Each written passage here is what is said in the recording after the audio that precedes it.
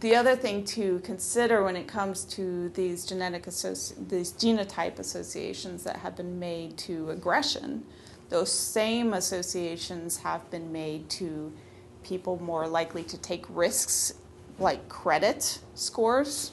High credit scores are people that don't have, have this assertion, and low credit scores are those that are people who have taken a lot of risks and made some errors. Um, you also see that maybe it's not aggression, but assertiveness. Maybe if you're not abu- abused and you have this genotype, you're more likely to become a high powered CEO or professor rather than a serial killer or murderer. To me, the underlying purpose of doing the research to understand behavioral traits is not for predictive value of using some sort of test to predict who is going to be a serial killer and who isn't.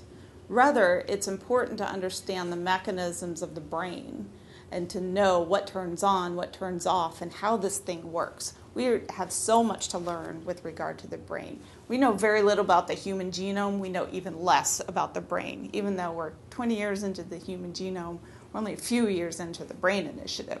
We know very little understanding how the genetics influence the brain and how those neurotransmitters turn on and off, how the hormones work, this is all really important research. And part of that is doing behavioral genetics and understanding those underpinnings. Using it to do predictive testing is, is far fetched and has a lot of social implications that are um, are going to require a lot of thinking and discussion before they're put into action.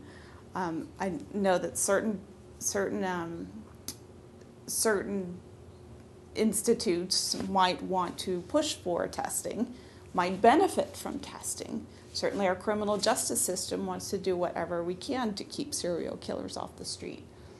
But there's a um, we have a social obligation to to protect individuals, not to label them with a scarlet S for potential serial killer.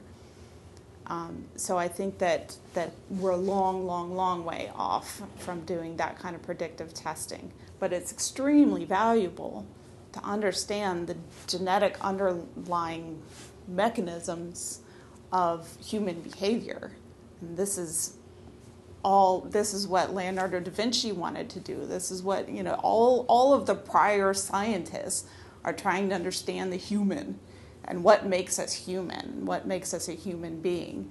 So certainly genetics is a part of that and that research is very important.